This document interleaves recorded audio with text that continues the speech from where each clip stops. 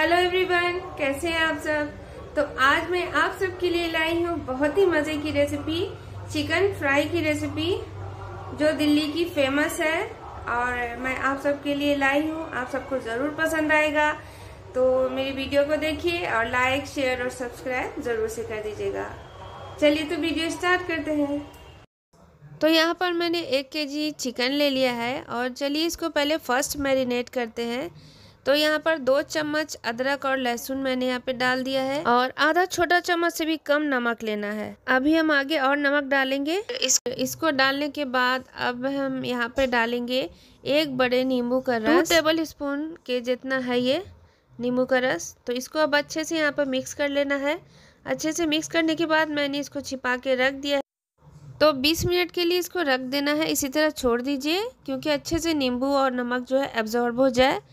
तो देखिए 20 मिनट के बाद मैंने इसको ओपन किया है। इस तरीके से खोल लेंगे और खोलने के बाद देखिए, अच्छे से जूसी हो गया है।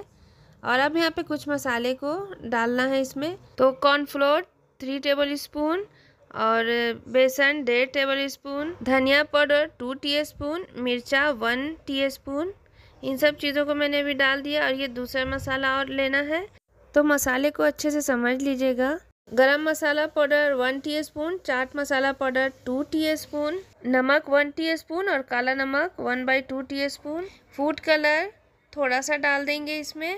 दही टू टेबल स्पून आपको लेना है। तो देखिए, दही को मैंने पहले, आधा घंटा पहले ऐसे कटोरी से दाब के रख दिया था। रुमाल में इस तरीके से करके रख देना है आपको भी, ताकि इसके सारे पानी जो है, वो अच्छे से निकल जाए। और जो थोड़े बहुत पानी बचे हैं, वो मैं यहाँ पे इसमें से दाब के निकाल रही हूँ। और ये टू टेबल स्पून दही है, इसको मैंने इसमें डाल दिया है।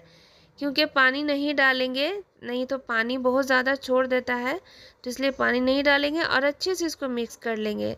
तो मैंने पहले हाथ से सारे गोश्त में लगा लिया है, अब चम्मच से मैंने पूरा अच्छे तरीके से इसको चला लिया है। और बहुत ही अच्छे से लगा लीजिएगा और ऐसे इसको मीडियम फ्लेम पर फ्राई करना है। तो मीडियम फ्लेम पर करके आप इसको फ्राई कीजिए, उसके बाद तुरंत हाई कर दीजिएगा।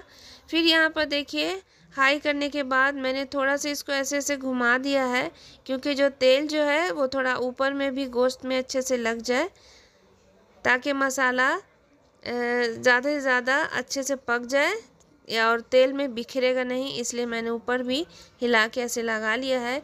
और 10 मिनट ऐसे तेज़ आँच पे पकाने के बाद मैंने इसको पलट दिया है 10 मिनट के बाद। और देखिए इसे इसी तरीके से उलट पुलट करके आप इसको तैयार कर सकते हैं।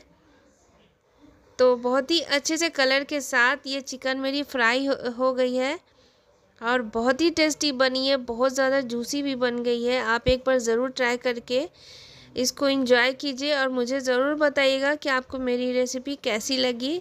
और लाइक शेयर सब्सक्राइब ज़रूर से कर दीजिएगा। चैनल पे नए हो तो सब्सक्राइब किए बिना प्लीज़ ना जाइएगा।